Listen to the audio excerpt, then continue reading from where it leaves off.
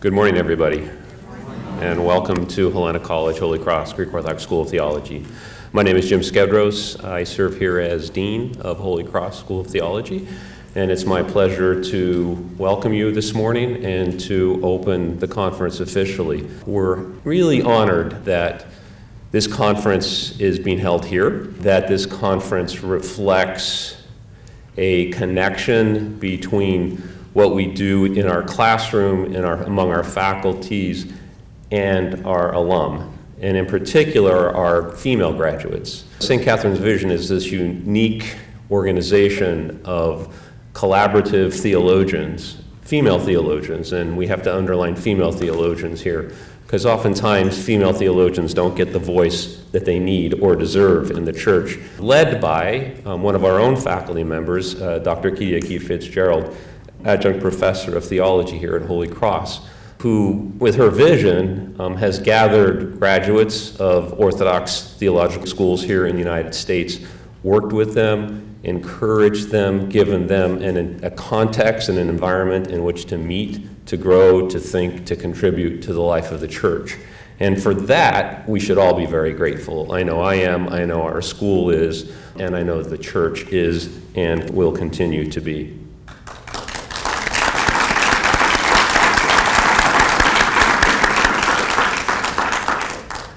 We're also extremely grateful and honored that His Eminence, Metropolitan Kallistos Ware has come 12 months later for a second time to visit our campus and be part of this conference. Uh, he is a gracious gentleman. He is a renowned theologian. I need not tell you that. Um, but he is just a kind Christian man who, through his writings, most of us know him, um, but for lots of you in the room here have come to know him personally and recognize that his writings are not just words um, but are reflective of who he is as a human being and as a Christian called to, to preach and teach and live the message of the gospel. So we're very grateful to have His Eminence here with us.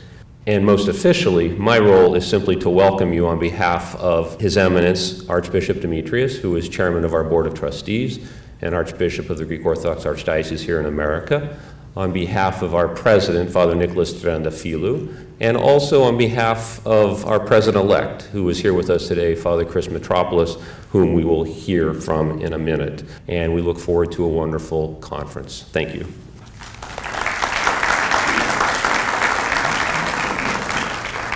Thank you very much, Dean Skedros, Your Eminence, Reverend Fathers, ladies and gentlemen. It is an honor to welcome you to the campus of Hellenic College Holy Cross. As the president-elect, Father Nick wanted me to extend to each of you his love and respect and appreciation for his many years of service here. Uh, these types of conferences are extremely important. They're extremely important, and they're especially important here on this holy place, which we call the Holy Hill. Uh, I have called it the last castle. Uh, this is the place that we push back the tsunami of doubt within the world today that wants to tell us that God is irrelevant, divine compassion is irrelevant, the image of Christ in the personhood of Christ in each of us is also irrelevant. Uh, the Annunciation came through hearing. And today you will hear many things. But the key will be what will we do with what we hear? How will we put words into action? And if we do that, we will then accomplish what we're here to do. It is my privilege to introduce my classmate, Dr. Kyriaki Fitzgerald. She has been a shining light for many, many years. Let's welcome uh, Dr. Kyriaki Fitzgerald.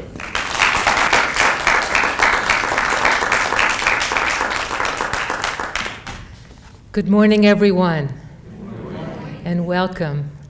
It's a miracle we are here today. And I can't thank all of you enough being here with us. In addition to thanking you, we, St. Catherine's Vision, are also offering you a couple of thank you gifts in your package a DVD with the highlights of our last year's conference, Divine Compassion and Women of the Church, whereas Eminence Metropolitan Kallistos also spoke last year as our keynote address, as well as highlights from the lectures of all the other speakers that uh, presented last year.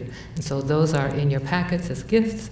And also, as another gift, we have included a copy of uh, a document, St. Catherine's Vision, printed uh, toward the end of last year, our international call for the rejuvenation of the ministry of the ordained deaconess. And so that you can take home and study and pray about for God's will. And so, to give you a little bit more of an update of why we are here and how we came to be here, St. Catherine's Vision is a pan Orthodox international group of mostly women theologians and other servant lay leaders, and now a few ordained leaders who have been joining us in our in engaging a number of contemporary issues in the life of the church. We had started first reaching out to women theologians, women who've graduated Orthodox theological schools. That is still an outreach we intend to connect with as long as we are able, but to now extend our outreach to women and men who desire to serve the Lord. And so, what has happened is in our conversations, we've discerned that the issue of divine compassion, the eleos of God, God's love that originates outside of time and space for us, that began even before our own creation. And that's a little bit mind blowing when you think about that. Is something that the church has always rested in, and that theologians and, and uh, leaders in, in our church appreciate as fundamental in anything that we do, even our desire for koinonia first has to take place after the reception of the divine compassion, of God's eleos, of God's love. And so, by contemplating the importance of divine compassion, this has been leading us in St. Catherine's vision to take more and more steps to be of service. It's still open ended. We don't have an agenda. We just show up and ask God to show us how we can be of service. Recently, our group discerned that we should begin our first public ministry. Up until recently, our work has been mostly educational, spiritual, cultivating conferences and retreats, being consultants to parishes and other educational institutions who wish to know more about the ministry of men and women in life of the church. We still desire to continue that and hopefully increase that. At the same time, being concerned only with the, let's say, abstract felt a little imbalanced for us. I was the last to sign on to this from the group, to take a step and commit ourselves to cultivating a conversation on the issue of divine compassion and human trafficking. Later on, we will have a little bit of a synopsis after His Eminence speaks from one of our advisory board members, Presbytera Maria Drossos, who will give you an update on how come this is important for us and what this means for us as Orthodox Christians. But in the meantime, with no further ado, I wish to thank you again and let us continue with our program. Thank you.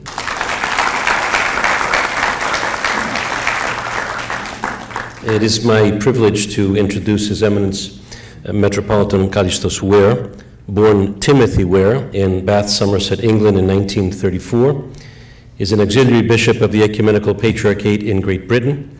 Metropolitan Kallistos was educated at Westminster School, to which he had won a scholarship and Magdalen College, Oxford, where he took a double first in classics as well as reading theology. 1958, at the age of 24, he embraced Orthodox Christianity. Since his retirement in 2001, Metropolitan Kallistos has continued to publish and to give lectures on Orthodox Christianity, traveling widely.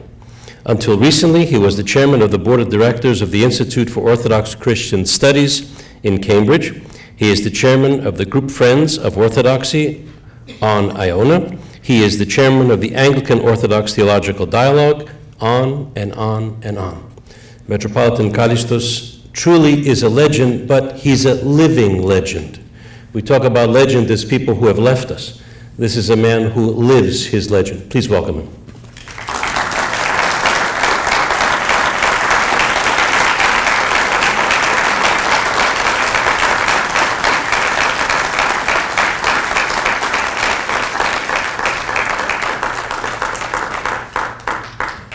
The fathers, ladies and gentlemen, friends, the phrase divine compassion can be understood in two ways vertical and horizontal. In the vertical sense, we think of the compassion of God coming down from heaven to us. And then in the horizontal sense, we uh, reflect on the way in which, empowered by God's compassion, we are to show compassion towards one another. When I spoke last year to this group, I spoke primarily about the first sense the love of God expressed in Jesus Christ, above all in his incarnation, in his death on the cross, his resurrection, his continuing presence in the church. So today I shall be concentrating more on the horizontal dimension. I've been asked to speak more particularly on the theme divine compassion and the restoration of the human icon. Let me begin with a passage from a 7th century writer, St. Isaac the Syrian. An elder was once asked, What is a compassionate heart? He replied, It is a heart on fire for the whole of creation, for humanity, for the birds, for the animals, for the demons, and for all that exists. At the recollection and at the sight of them, such a person's eyes overflow with tears, owing to the vehemence of the compassion which grips his heart. As a result of his deep mercy, his heart shrinks and cannot bear to hear about or look on any injury or the slightest suffering of anything in creation. This is why he constantly offers up prayer full of tears, even for the irrational animals and for the enemies of truth, even for those who harm him, so that they may be protected and find mercy. He even prays for the reptiles as a result of the great compassion which is poured out beyond measure after the likeness of God in his heart.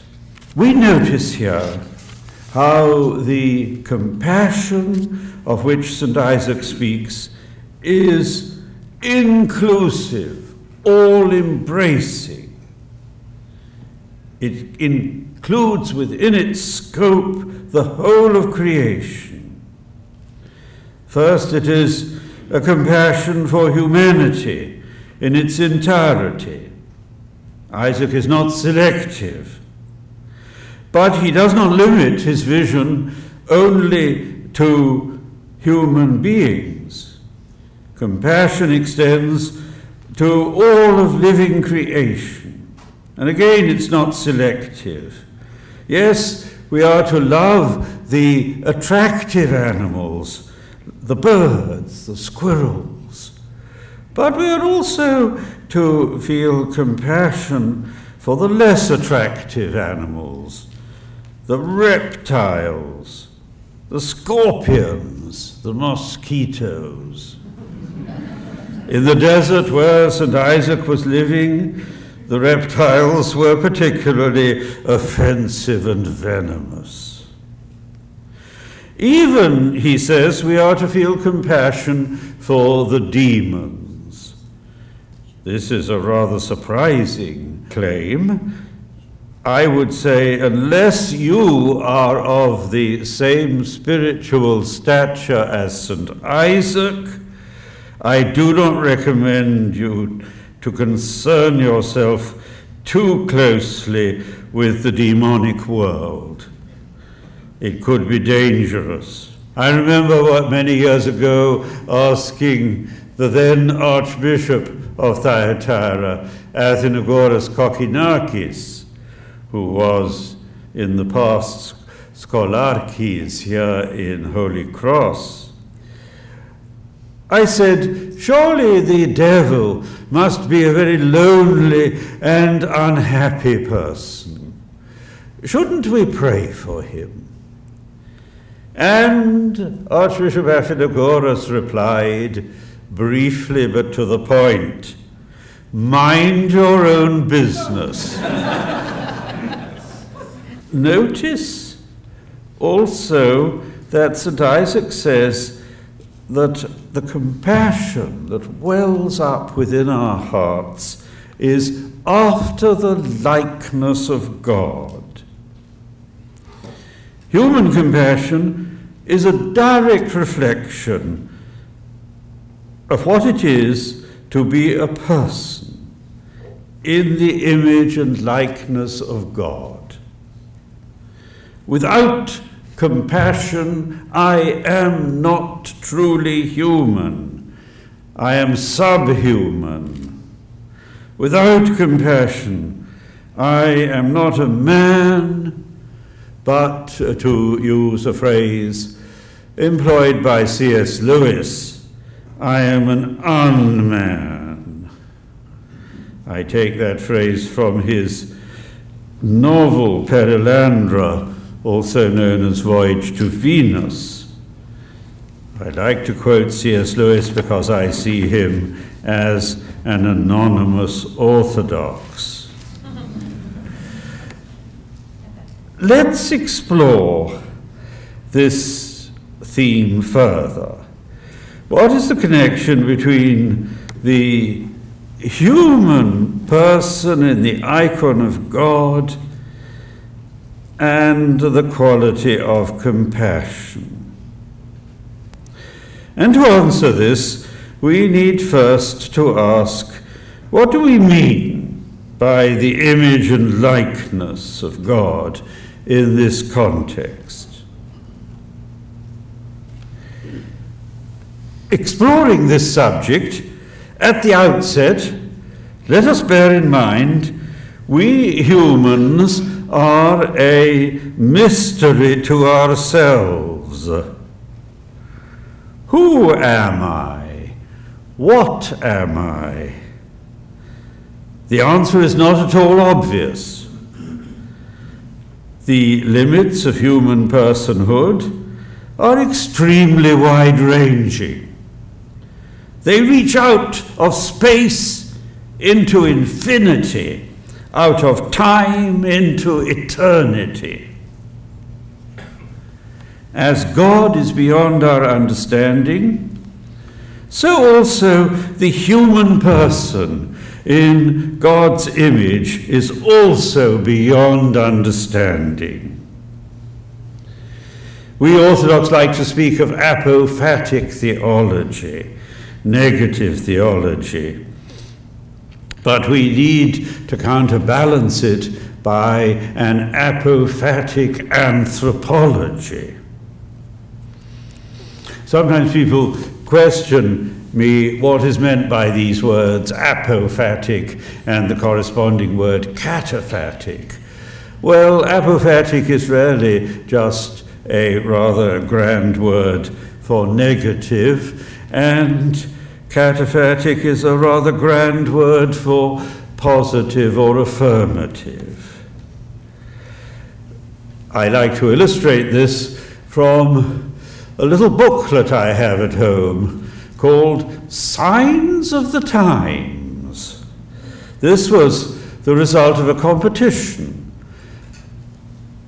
fostered some years ago by the Times newspaper of London people were invited to send in photographs of enigmatic or paradoxical notices. And so they got quite a number of such notices. From Wales, for example, a notice in a car park saying parking is limited to 60 minutes in each hour. or another notice from a road in Africa saying elephants have right of way.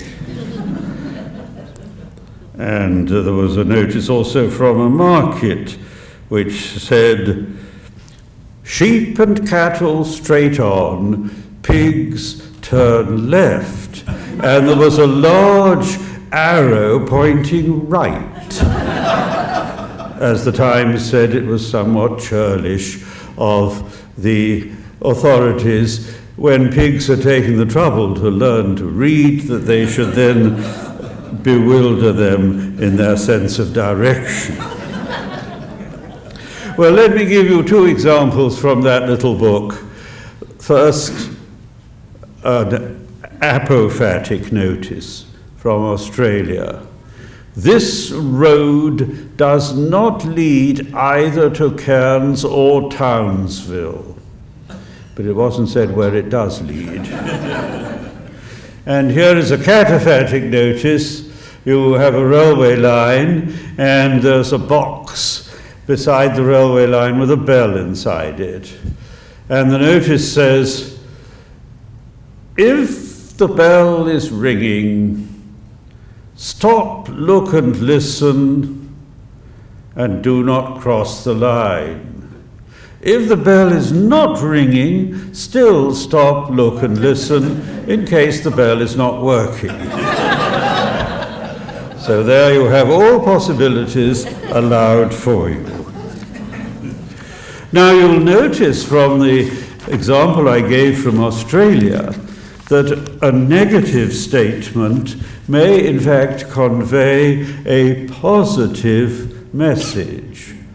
If you know the geography of the district, the statement that the road doesn't lead to Cairns or Townsville may in fact give you some idea where it does lead.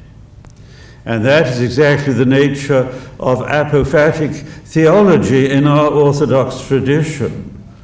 Through our negations about God, we obtain a certain insight, a vision of who God is beyond words, beyond language, beyond our imagination. Now, this mysterious, apophatic quality of human personhood extends more particularly to our understanding of what is meant by image and likeness. One of the fathers, St. Epiphanius of Salamis in the early 5th century, wrote, It cannot be denied that all humans are in the image of God. But we do not inquire too curiously how they are in the image. And elsewhere he says, tradition holds that every human is in the image of God, but it does not define precisely in what this image is to be located.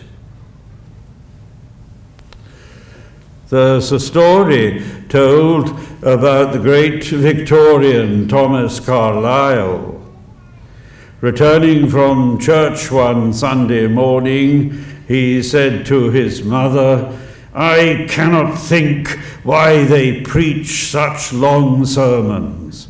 If I was a minister, I would go up into the pulpit and say no more than this Good people, you know what you should do. Now go and do it.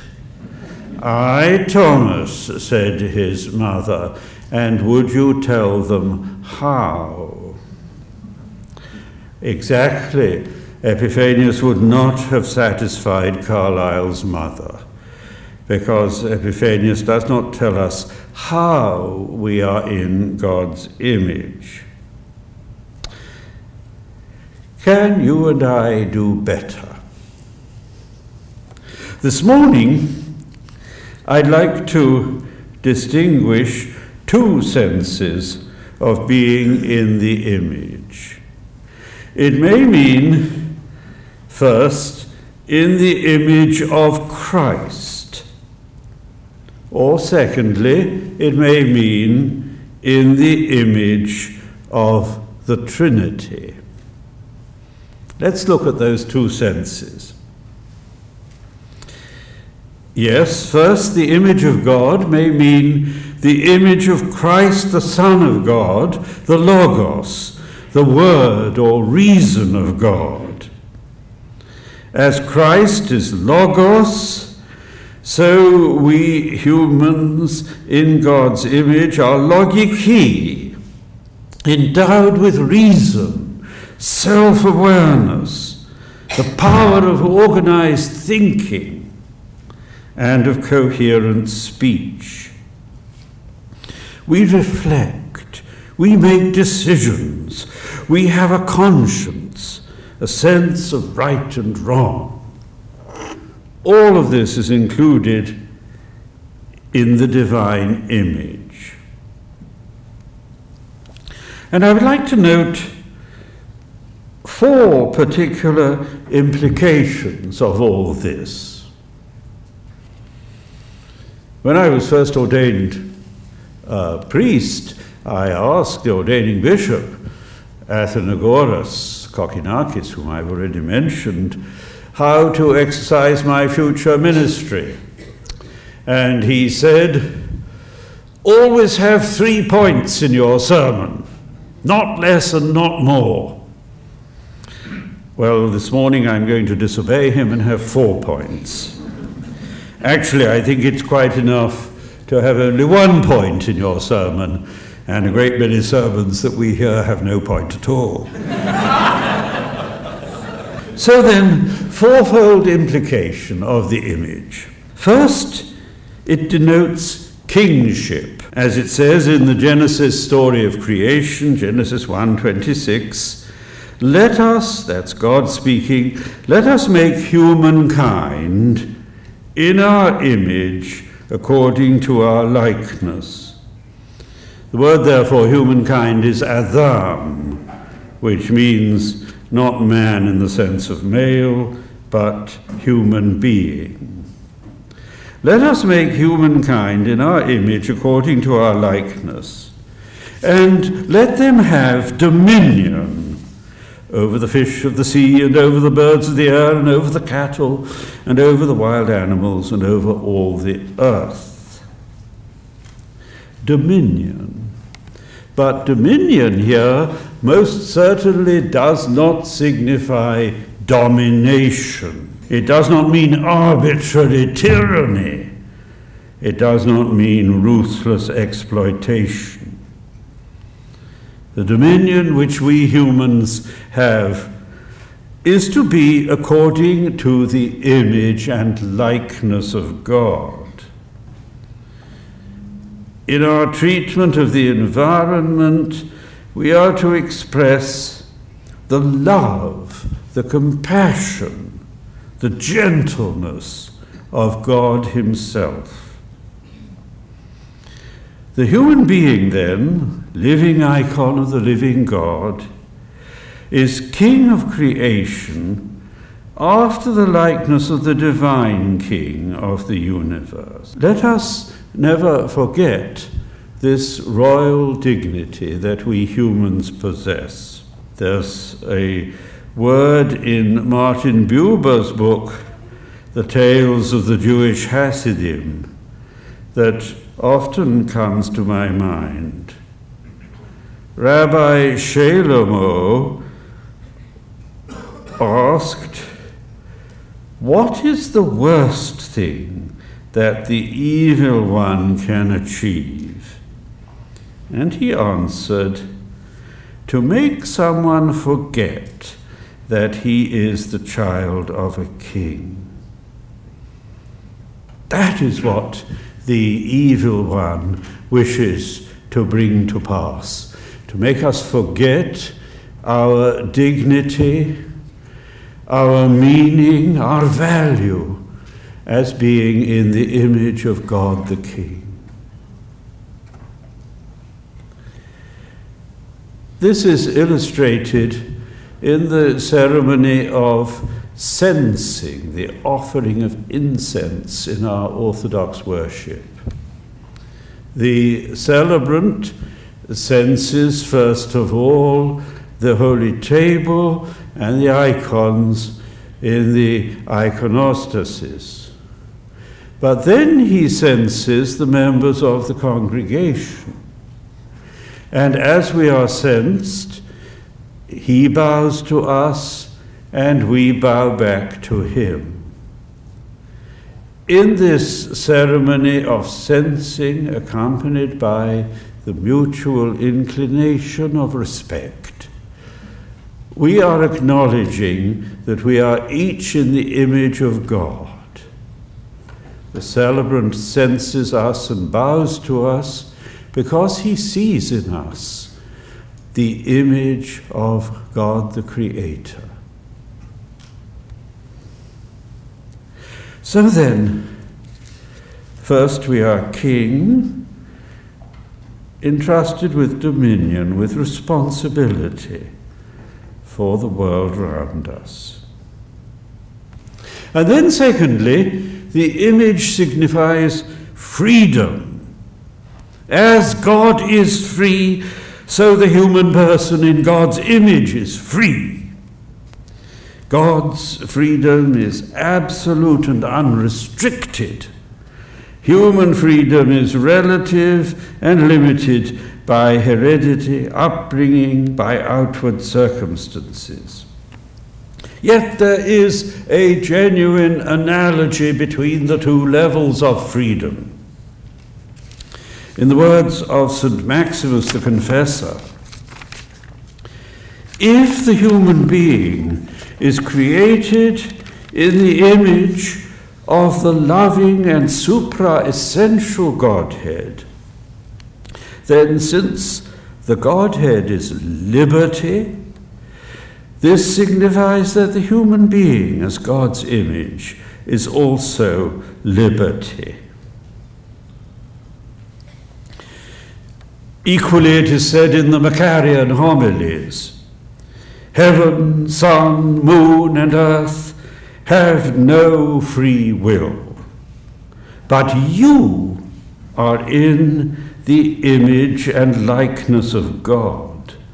Because just as God is his own master and does whatever he wishes, so you also are your own master.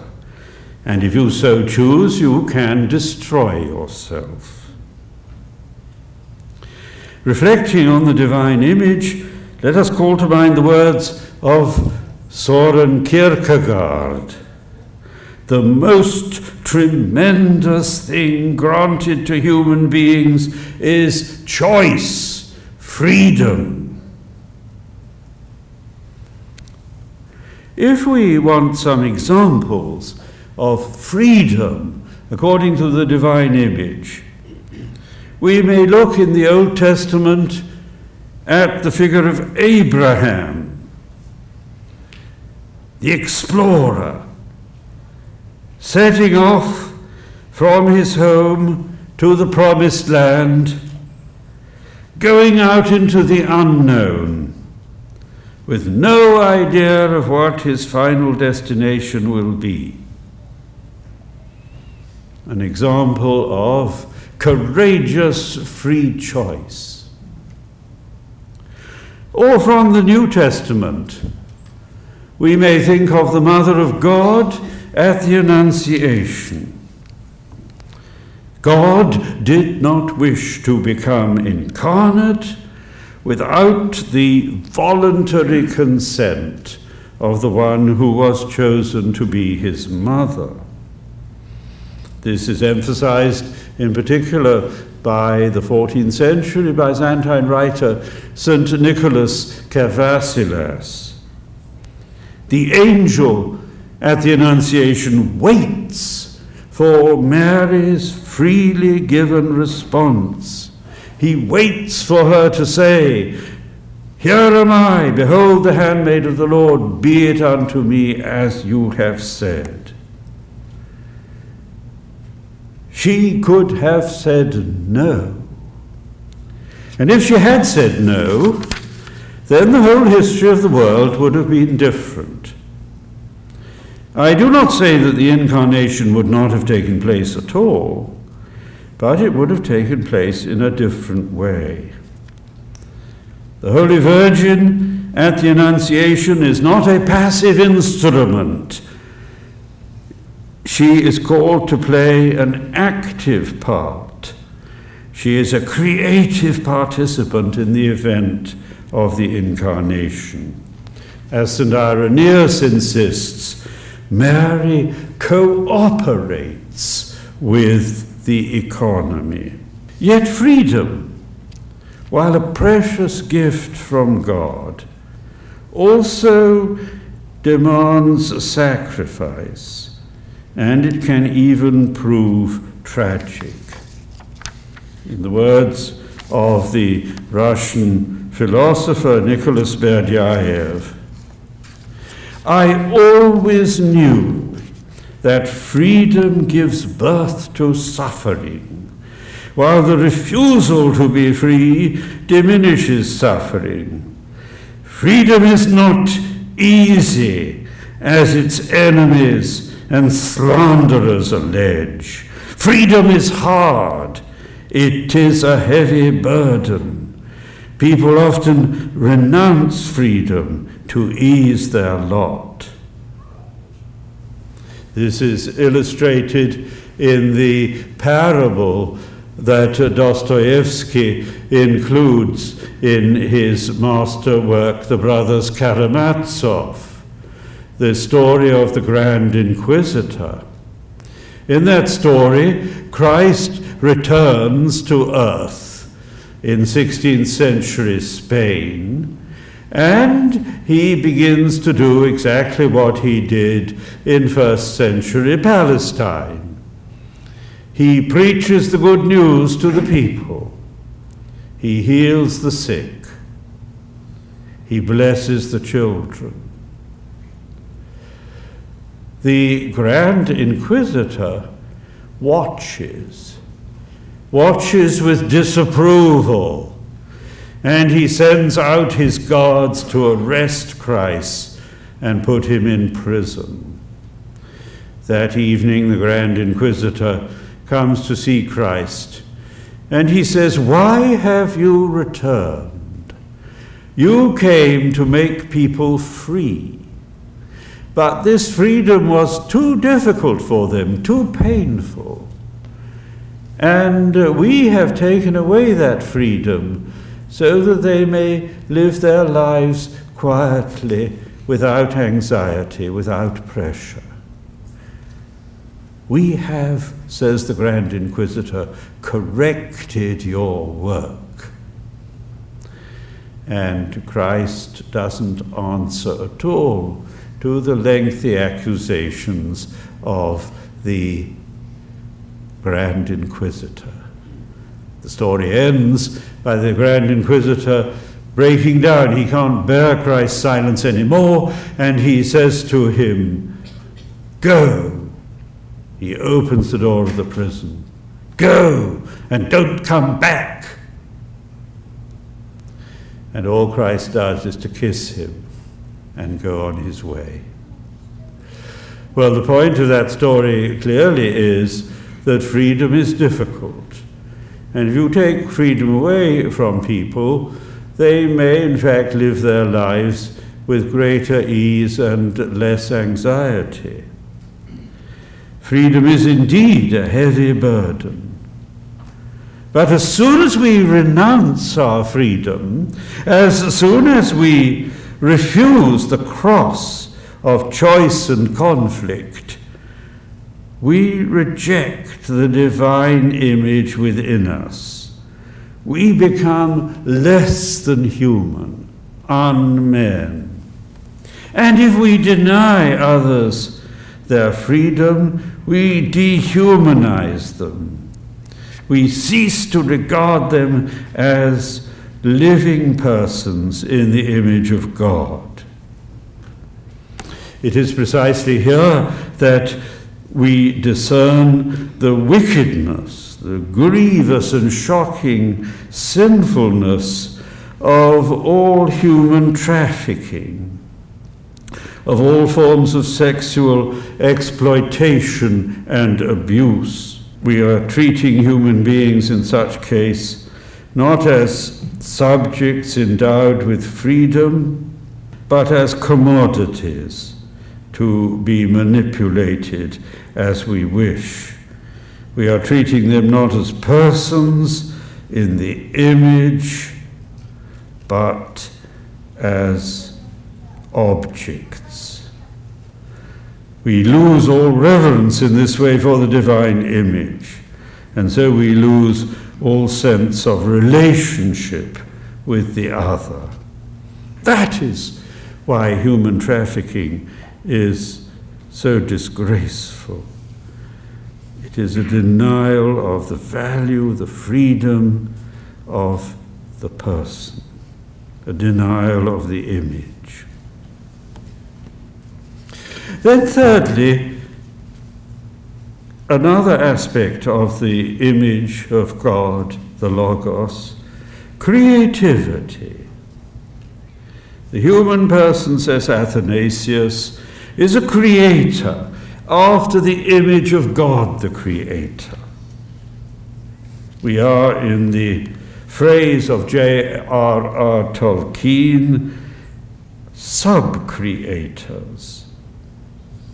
More specifically, the human animal is an animal that uses tools.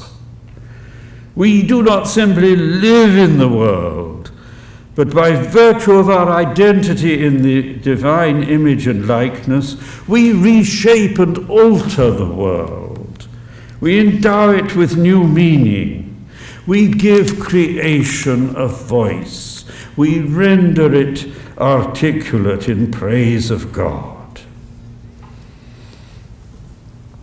I reflected on this on one occasion when I was returning from France, and I suddenly recalled that I hadn't bought a gift to give to my mother on returning home. So I rushed into a village shop, and there I saw a bottle with a squirrel on the outside. And as I like squirrels, I thought I would buy this bottle. It was, in fact, a liqueur made from nuts. And I reflected squirrels can do many things. They can plan for the future, they uh, will uh, assemble nuts, hide them away in special places for a winter supply. They will forget where they put their nuts, and they'll quarrel with other squirrels about whose uh, hoard of nuts this is. These are all very human qualities. But I reflected on one thing that squirrels don't do. They don't make a liqueur out of nuts. Actually, the liqueur was very nasty. I would rather have had the nuts in their natural state. And that illustrates an important aspect of the divine image. Yes, we are in the image of God. We are endowed with creative powers. We can transfigure, raise creation to a new level. But also, because of our human powers, we can disfigure creation as well as transfiguring it. We can poison the waters and pollute the air in a way that the animals don't do. Yes, it's true that animals do, to a limited degree, change the world around them. Beavers build dams, bees construct honeycombs, but they don't transform the environment to the extent and with the depth that we humans do by virtue of the divine image.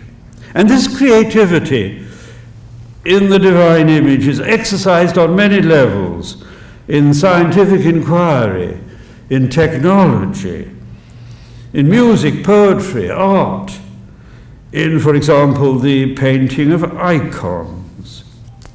As St. Theodore the Studite says, because the human person is formed in the image and likeness of God, there is something divine about the act of painting an icon. Well, so far as reflections of the image of the Logos in the human person, I've mentioned, yes, kingship, freedom, and creativity. And now I come to a fourth quality, more important than these three. Formed according to the image of the God, endowed with self awareness, endowed with God awareness, we humans, consciously and by deliberate choice, are capable of offering the world back to God. So that's the fourth quality offering. Offering the world back to God in praise, doxology, thanksgiving. And in this thanksgiving, we become ourselves. The animals cannot do this. Curlews, cicadas, and frogs praise God in their own way, but not with conscious God awareness. Speaking of frogs, I recall my visits to the holy mountain of Athos, and there are large numbers of frogs there. Each hermitage has its own cistern for watering the garden, and each cistern has its own colony of frogs. And as the sun sets, you hear the frogs singing above you, around you, beside you. And I think the singing of frogs is a beautiful sound. There's a nice story told on Athos of an elder, and the frogs were making a great noise. And the monks were trying to pray their morning office. So the elder came out and he said, Frogs, we've just finished the midnight office and we're just beginning matins. Would you mind keeping quiet? And the frogs replied, We've just finished matins and we're beginning the first hour. Would you mind keeping quiet? so, as the living icon of the living God, the human being is priest of the creation, grateful offering. That is an essential characteristic of our personhood. And here I'd like to quote from Dostoevsky again, this time from his Notes from Underground. Gentlemen, let us assume that man is not stupid. But if he isn't stupid, he is monstrously ungrateful all the same. He is phenomenally ungrateful. I often think that the best definition of man is a creature that has two legs and no sense of gratitude. And he goes on later, the anti hero in the Notes from Underground Man alone can utter curses. It is his privilege and the thing that chiefly distinguishes him from the other animals. Now, all of this is very true. True of fallen human beings, of human beings turned away from God. But in the case of human beings as God originally intended them to be, of the human person redeemed in Christ, we are to reverse all that Dostoevsky says by 180 degrees, as he himself meant us to do. The best definition of man, of the human being, his chief characteristic, that which makes him to be himself, is gratitude, thanksgiving. What distinguishes the human from the other animals, what constitutes his privilege as priest of creation, is the ability to bless God, to invoke God's blessing on other persons and things. This grateful offering we express, above all, in the supreme act of human worship, the Eucharist, the divine liturgy. The human animal, it has been said, is an animal that laughs and weeps, that has a sense of humor and a sense of tragedy. Very true, but we need to go further. The human animal, it is said, is a logical or political animal. Yes, but go further still. The human animal is a Eucharistic animal, an animal that fulfills herself or himself in the act of free and grateful offering of the creation back to God. And note that in the Divine Liturgy, we offer to God not grains of wheat, but bread, not bunches of grapes, but wine. We offer back to God the fruits of the earth, but we do not offer them back in their natural state. We offer them back transformed by human hands. In our liturgical offering, we express our iconic nature as sub creators. We express our creativity. Now, thus far, and at some length, we've examined what it means to be a human being in the image of Christ, the Logos. Now, somewhat more briefly, let us consider what it means to be a human being in the image of the Holy Trinity. And this will bring us back more specifically to the theme of compassion. The basic and primary meaning of our faith in a Trinitarian God is this we Christians are not just monotheists, as are the people of the Old Testament, the Jews, as are the followers of the prophet, the Muslims, nor yet are we polytheists, but we discern in God both essential unity and true personal diversity. Our Christian God is not only personal but interpersonal, not only a unity but a union. God is love, not self love, the love of one turned inwards, exclusive, but the love of three Father, Son, and Holy Spirit, loving one another each turned towards the other, each dwelling in and for the other. A love that is not exclusive but inclusive. As the greatest living Orthodox theologian has said, Metropolitan John Zizioulas of Pergamum, the being of God is relational being. And he continues, without the concept of communion, it is scarcely possible to speak about God at all. So there is within God, to use Martin Buber's terminology, a threefold relationship of I and thou. From all eternity, the Father, the first person of the Trinity, says to the second, Thou art my beloved Son.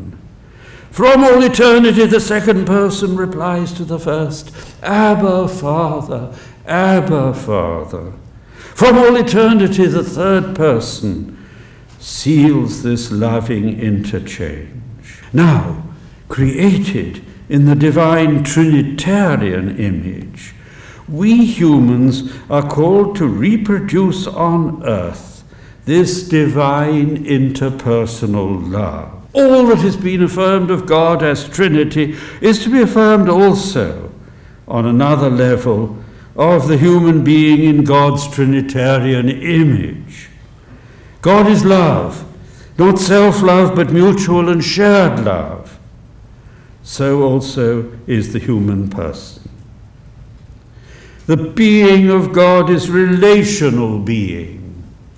So also is our human being. There is no true person unless there are at least two persons in communication with one another.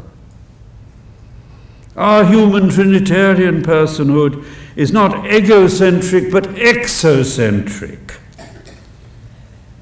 Our human nature is social or it is nothing. So, this is the fundamental meaning of the doctrine of the Trinity for our human nature. I need you in order to be myself. All of this makes clear the central value of compassion for any understanding of the human icon. Made in the image of God the Trinity, who is mutual love, it is only through compassion that we become truly human. Through our ability to suffer with and for others in loving and generous companionship. Visually, all this is expressed in the icon of the Holy Trinity by St. Andrew Rublev, surely well known to all of us. There, the Trinity is shown symbolically as the three angels who came to see Abraham under the oak of Mamre. And in the icon, the three angels are not sitting in a row gazing out into space. They are turned uh, towards one another. And in their mutual interface, we too are somehow included. The three are engaged in dialogue. And what is the subject of their conversation? They are saying to each other, God so loved the world that he gave his only Son. They are speaking of the act of self emptying, of compassionate love, whereby Christ Jesus died in sacrifice upon the cross. Rublev's Trinity, then, is uh, supremely an icon of divine compassion, of the divine compassion that is the inspiration of the whole program of Diaconima within St. Catherine's vision. Plato said, The beginning of truth is to feel a sense of wonder. Today, let us, you and I, renew our sense of wonder before the beauty of our human personhood. Our personhood that is created in the image of the Trinitarian God, our human personhood that is called to attain his divine likeness through the exercise of compassion a compassion that is both costly and luminous, both sacrificial and yet intensely joyful. Thank you.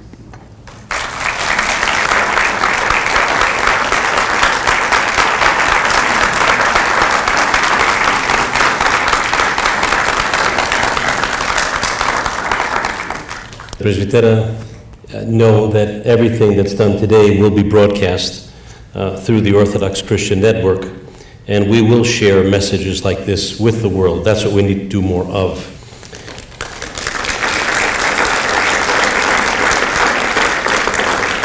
We'd like to open it for any questions uh, that you have. Go ahead, please. Eminence, you told about uh, an incident which happened several, a few decades ago when you asked a noted theologian, uh, should we pray for the devil? And the theologian said, mind your own business. well, now that you are an elder statesman, and respected theologian around the world, how would you answer that question? Here we must surely be guided by the worshipping practice of the church. And in our tradition, neither in our public worship nor in our private prayers, Uh, are we told to pray for the devil. We live within the economy brought about by Christ. Christ at the incarnation did not become an angel, he became a human being. And therefore, what we know in Christ is the divine economy, the divine plan for the salvation of the human race. And we should limit our prayer and our concern to that. What plans God has for the reconciliation of the devil, we do not know. We have a hint of this in the beginning of the book of Job, where the evil one, the tempter, walks among the sons of God, before God. And in the book of Job, he is, in his own way, fulfilling the divine purpose. That suggests that the devil may have his own relationship with God about which we know nothing. What plans God has, that is hidden in the divine providence. I do not believe that God could rest satisfied with the idea of a dualism in creation Something seems to be unacceptable in the idea that in the beginning God created everything good, and even the devil is God's creation. And yet, that at the end there will be a kind of division between good and evil. I believe that God has some wonderful plan which we do not understand for the reconciliation of all creation, including the devil. But we don't know about that. We know two things God is love, and human beings and all rational creation, whether human or not, is free. So God is love, and God will not stop loving that which He has made. But we humans and other rational beings have freedom it has been said by the Russian theologian Paul Evdokimov that God can do anything except compel us to love Him. Because love has to be free. It cannot be love if it is evoked under compulsion. So God waits for all creation to return freely to Him and to all eternity, we humans and the fallen angels have the power of saying no. But perhaps God has a plan of which we have no understanding at present. Recognizing the limits of our understanding, recognizing that we should be concerned with the salvation of the human race, we don't speculate about the devil. Leave that to God. St. Isaac says we should feel compassion for the demons. I don't think he actually says that we should pray for them. Earlier this week in North Carolina, there were nine people killed yes. in a church. The response of the victims' families has been hmm. forgiveness. God have mercy on the soul of the person responsible. It's a very hard thing. This is a very hard thing. I feel that they are us and we are them. And I, but I'm still, it's, it's an overwhelming kind of occurrence. I'm wondering if um, Paulson can comment on this and talk about what, what our response When an outrage happens, a senseless, cruel killing, it's very natural to have the feelings of revenge. these people who have done this wicked thing must suffer for it. That's a very natural reaction and one can understand it. And if we have not ourselves suffered, we shouldn't be too ready to sit in judgment on those who have suffered. But at the same time, we know that this is directly contrary to the teaching of Christ. He says we are not to overcome evil with evil, we are to overcome evil with good. And he says we are not to return cursing with cursing, but we are to bless. So the only way out of these tragic human situations is the way of forgiveness. As Gandhi said, an eye for an eye and a tooth for a tooth makes all the world blind. So retaliation, however understandable the desire to get our own back, is never a way out. And the only way of escape, the only way to freedom, according to the divine image, is through forgiveness. But forgiveness is most certainly not easy. Just as freedom is not easy, so neither is forgiveness. Forgiveness can be a heavy and hard cross. It may take us a long time to be able to forgive. And it's easy if we are not personally involved to tell others to forgive. But when we are personally involved, we learn how hard forgiveness is. Yet forgiveness is the only way out from our human tragedies, and it is the way of Christ. Thank you. Thank you very much.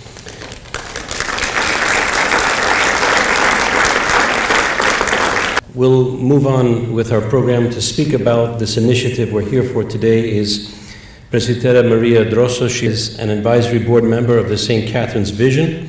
She has served in various capacities for over 15 years at St. John the Compassionate Mission in Toronto, Ontario, Canada, as president of the board of directors and director of operations.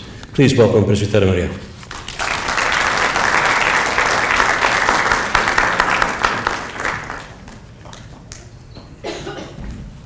Your Eminence, Reverend Fathers, beloved Sister Presbyteres, brothers and sisters in Christ, I feel very unworthy to speak after His Eminence.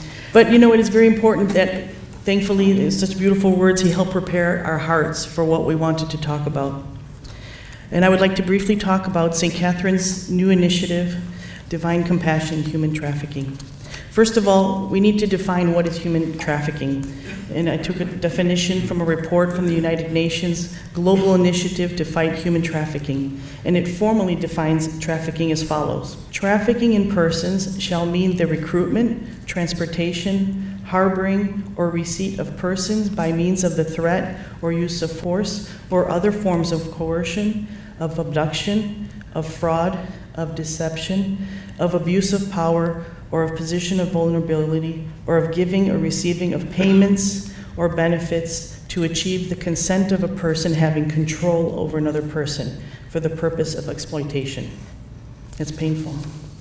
To give a little bit of statistics, between, and the range is between 22 to 27 million people worldwide are trafficked. And to kind of give a visualization of that, that's approximately the population of Australia. Human trafficking is generating estimated over $32 billion per year profits. But the victims are both male and female and of all socioeconomic backgrounds and in every country, even right here in our city here and all around the globe. Some, how slippery a slope human trafficking is, and some runaway groups estimate that one in three young people is, is solicited for sex within 48 hours of running away or being homeless in the US. Why are we bringing this up? It's the big elephant in the room, and we find disturbing to hear, to talk about, or even to discuss, and even here and in our churches too. We might think, no, this doesn't happen in my neighborhood, it doesn't affect me. But the magnitude of this tragedy should not make us hesitant to help in some way. Sometimes when we hear these large facts and figures, it's just too daunting. So let's humanize this, and I wanted to share two stories of people. The Syrian refugee crisis has left hundreds of thousands of people desperate and vulnerable to human trafficking. Here's a newspaper quote from a Syrian woman named Amal who said, I left my family and my son in Syria. I met a man from Palestine who, bought, who brought me to Amman. In the first three months, he treated me well, but then he started forcing me to work in bars and in illegal activities. He made me sign a marriage certificate with certain conditions. My son is sick and I cannot go to see him because this man takes all the money I earn from work. The situation of my family is so miserable, I don't know what to do. I hope you can help me and find a solution for me. To give you an illustration locally in Toronto, uh, how trafficking hits close to home. A mother recently told me a story last week about her daughter Helen. Recently, Helen and a group of four to five Greek Orthodox teenage girls were just hanging out at the food court in a suburban mall. A young man who was good looking approached them and complimented them on their beauty and was trying to persuade, persuade them to come to his agency for a modeling career. Thankfully, the girls were wise enough not to go with him, but he gave them his business card for his modeling agency and left. The girls went home, shared this information with their parents, did some research, and of course, they found the business was not legitimate, and it was the website on the business was a pornography website. Even above that, a few days later in the evening TV news, they recognized that the man who approached them was arrested and involved in a larger ring of human trafficking in the area. Why should we help? Victims of human trafficking, because they're the most vulnerable of God's children as we had heard about now, we are called to share in God's divine compassion. And the opposite of divine compassion is human indifference. Not saying or doing anything is a tragedy to the, to the victims and their families. We need to uphold the value of the human person created in God's image and likeness. Today's society pulls us in the direction and the commodification of people and attempt to dehumanize. With this new initiative of St. Catherine's Vision, here are some of our big goals as well as smaller goals. Overall, for the Orthodox Church to be a beacon reflecting and expressing the light of divine compassion in the darkness of human trafficking globally and locally. And I like the image Presbytera Kyriaki has brought up, to, if we can just be even a small candle in this immense darkness. Some of the approaches we want to take for, again, our strategy attempt to do this is to collaborate with others already in this arena. In other words, not to duplicate efforts, but to enhance effective work being done to bring an orthodox perspective to divine compassion and human trafficking based on theological foundations and insights by divine compassion and prayer, encouraging theological and spiritual reflection on divine compassion and human trafficking, initiating educational programming and future consultations promoting ways in which groups of the church may respond. For example, currently the Greek Orthodox Archdiocese in the United States, the Philoptochos has one of their five national initiatives is to deal with issues human trafficking and see if they can help locally eh, as well as internationally in that measure, and we applaud them for that. We can also advocate locally and globally with our government officials. Some ideas on what we can do to take some small steps, and I'd like to read this, please. That we pray that our hearts grow in awareness and appreciation for the God given personhood of every human being, that we acknowledge this sin against the dignity of children of God, both male and female, that we pray for the eyes of our hearts to be open to our sisters and brothers who suffer the pain and destruction as a result of human trafficking in our local area and around the world. Pray for victims who are suffering from physical, emotional, and spiritual violence. Pray for the perpetrators of the sin Pray for those who choose to look the other way. Connect and engage with local and national international organizations that are helping with victims of human trafficking. Advocate for policies and laws that address the causes of human trafficking and protect survivors' rights. Educate people, communities, and parishes with, about the prevalence of human trafficking, again, lo locally and globally. Also, become a conscientious employer and consumer. And one last point is for each of us to consider individually and collectively how we can use our time, talents, and treasures to offer support to victims and to the survivors of human trafficking. We need your ongoing prayers and support as we, again, take this first step in this initiative, also of donation of your time as well as your talents. May our loving God and the Father of his infinite divine compassion guide our hearts, protect the millions of people who suffer, and as Eminence most beautifully said, let us not forget that we are all children of our King. Thank you.